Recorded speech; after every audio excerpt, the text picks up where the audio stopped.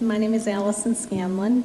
Um, I'm sitting between two great kids. Uh, I'm very happy to be here.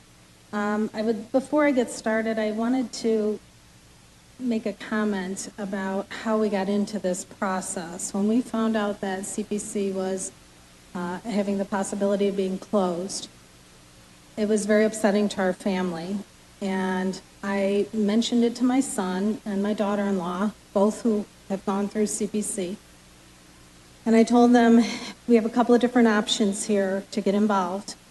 We can uh, get a little bit involved, we can throw ourselves into this, but you need to understand that if we throw ourselves into this fight, your business is going to be out there for everybody to see. So I, I left the decision up to him as to how much and how far we went into this process. And he has a daughter, and uh, it's very important to him that she's four years old right now, and it's very important to him that if he had to place his child into a facility because she developed his and his wife's disabilities, that it would not be down at the Buffalo Psych Center, but that it would be out at the Children's Psych Center. So, having prefaced that, I'm very proud of him that he has allowed us to put um, his life and his business out with the stigma that society holds on it. So, I'm very proud of him. Uh, I'd also like to make it clear that this issue today to parents is not about outpatient services. I've heard a lot about outpatient services. Vernon was a huge participant in outpatient services, and they let us down time after time after time. We're not debating that today. We totally agree that outpatient services need to be revamped. There needs to be money put into it. That's not why we're here. We are here because there will always be children who need inpatient hospitalization. So our concern is once it's determined that they need it, what facility are they going to be placed in? That's why we're here. Um, we have been down quite a journey with Vernon's mental health. Uh, began at three, three years after uh, my husband and I adopted Vernon. We noticed that things were different, and uh, he was unable to focus. He was unable to finish anything that he started. He showed no attachment to anything and was unable to stay focused enough to learn. This was a problem. He was asked to leave two different um, preschools. He was asked to leave kindergarten early because he was so disruptive and they just did not know how to handle him. They could not equip him properly. So we went down the road of Ritalin was the first medication, and what a difference that made in our family. Almost overnight, he was able to learn his alphabet, his numbers, and begin reading. So that to us was a real encouragement, but that was our first step down the road of mental, mental health. Um, by the time fourth grade came along, though, his size had changed, taller, more weight, and they told us it's becoming a problem. He was starting to hear voices, and they had gone as high as they could with Ritalin. So we're like, okay, well, then fix him. Find something else that can work for him. Well, what a process. Because you're on a waiting list for a psychiatrist, you're on a waiting list for a psychologist. He was worsening, getting worse and worse, becoming more violent, violent outbursts, talking more about harming himself. And there was nobody to turn to. We were on waiting lists. That's what I'm talking about with, with outpatient services. Um, Vernon had several hospitalizations that he went through. One was at ECMC CPEP, well before they had a children's unit there. So he was placed in with the adults. I had to stay with him. Um, there were prisoners in there who were shackled and troopers in there that were guarding them for the entire night. And he sat on my lap and I just wrapped around him.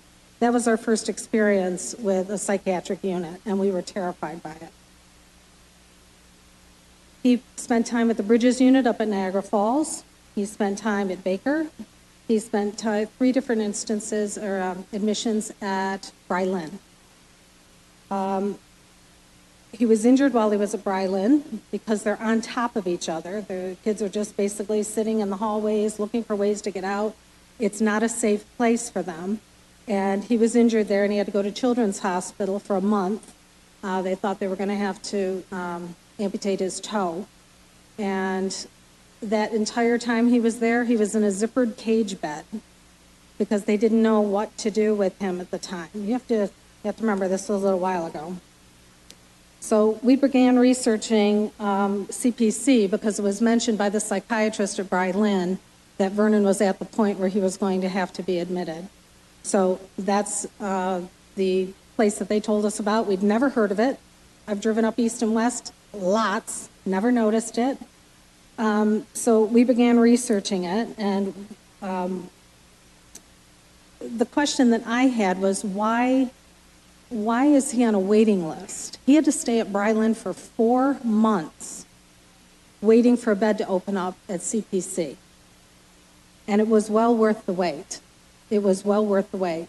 He was not able to leave the facility at Brylin, and he had to look at the sun through the mesh wiring on his window.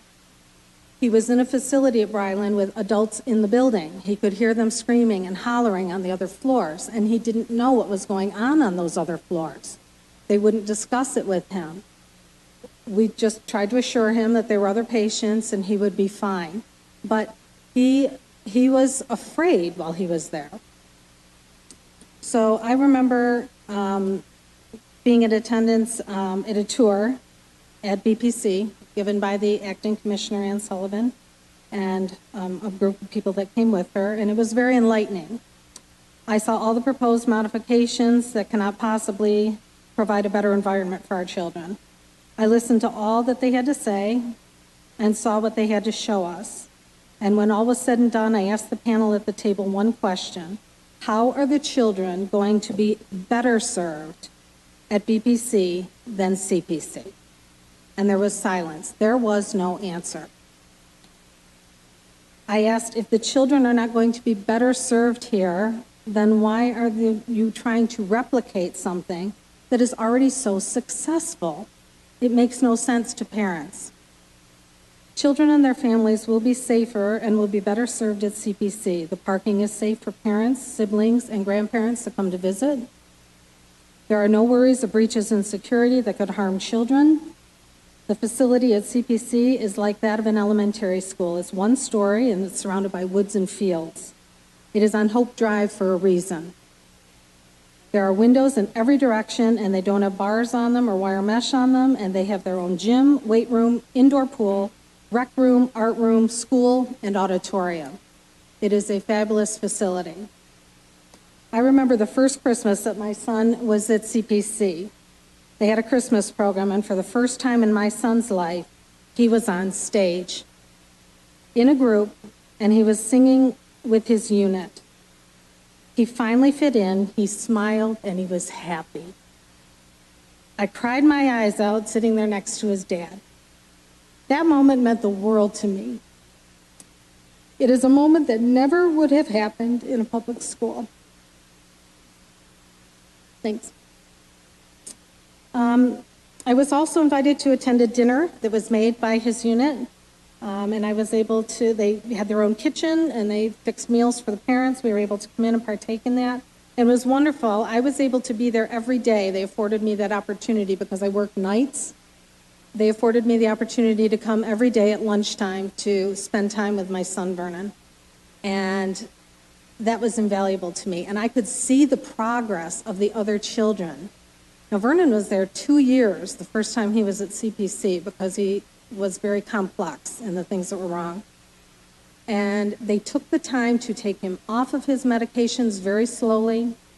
They observed him for a length of, of time, and then they started to uh, analyze what was actually wrong with him and what medications he should be on. And I'll tell you what, they got it right because his last hospitalization ended eight years ago and he's still on the exact same medications. He's not violent, he's able to function, he takes care of himself, he takes care of his wife, takes care of his child. They live with me in a residence out in Depew. Um, we attended family events such as craft days and picnics that they were able to have on the grounds in the enclosed areas. It was wonderful. And you got to see as a family that there were other people going through exactly what you were because at this point in your life, you're thinking you are alone, alone. I always found it strange that OMH put out a statement that infrastructure doesn't matter, that it's the clinicians, it's the doctors, it's the staff. They are fabulous at CPC. I adore every one of them. I was greeted every day by name. They knew my child. They knew what he was up to every day. They made him obey. There were consequences if he did not. He had to earn levels in order to gain his independence. They taught him amazing things, but they also treated my husband and I.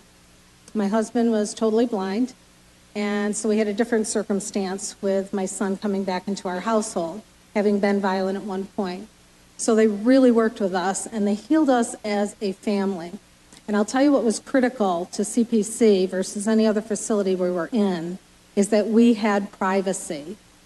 Every other facility, you are sitting at a table with other families, you're hearing their business, they're arguing with their children, their children are arguing with their parents. It's not a pleasant situation to be in. It's very awkward. You're not accomplishing anything on your family time. You sat at a table with other people. At BPC, that is my concern, that they don't have anywhere near the space for privacy that they did at CPC. When we had family time, we were in a private area. When we had counseling, we were in a private area. We always had a private place to be a family. And it was absolutely priceless to us because we had experienced the opposite at so many other facilities. So this is a, a definite concern of ours. Um, you know, and I, I get it. There are troubling times in 2015. It's a time of stress for many American households who are trying to make ends meet. I understand the concept of brick and mortar savings, that when you put two facilities together, you can cut some costs. I get that. I understand the importance of working within a budget. I'm all about working within a budget. I understand the concept of doing more with less. But the question is at what cost? I am a parent of a child who suffers, suffers from mental illness. I have been through the fear of the unknown, the stress of being a parent who is helpless in finding my child the care that he needs, the fear of watching my child deteriorate, and the worry of wondering if he will harm himself or others before help is secured. Unless you have lived it, you cannot understand it. Infrastructure mattered in his treatment and in the healing of our family. CPC saved our family. CPC saved my son. Our children matter, and moving them into BPC is a disservice to them and hinders their chance at a productive future. They do not need to look out the window and see what their future might hold when observing adult patients, and neither do their families. It instills fear. Leave CPC alone, let the let it continue to heal and help children and their families. Find somewhere else to save on brick and mortar. There's other money in the budget. Our children deserve the best, and they already have it at CPC. It's not about the money to us, it's about our children. It's about the children and what is best for them.